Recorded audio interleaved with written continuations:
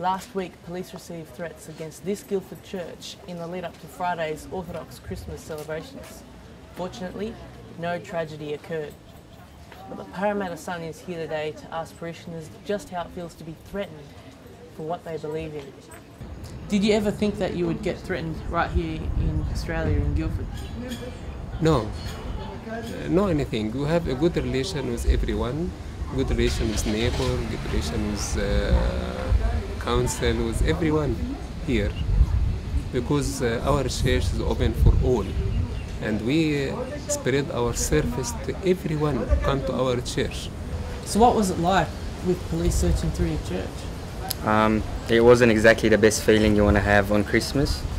It was just awkward for everyone. You know, you're looking around expecting anything really, um, knowing that there might be a bomb in your church. You know, it's, it didn't feel safe at all.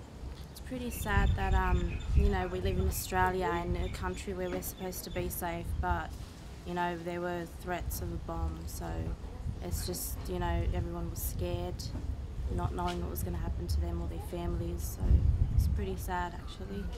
And the mass actually it was so sad. It wasn't a celebration of the of the Christmas Eve. It was like a, fu- a funeral actually. And our belief is if, if anything happened, heaven is, is waiting for us.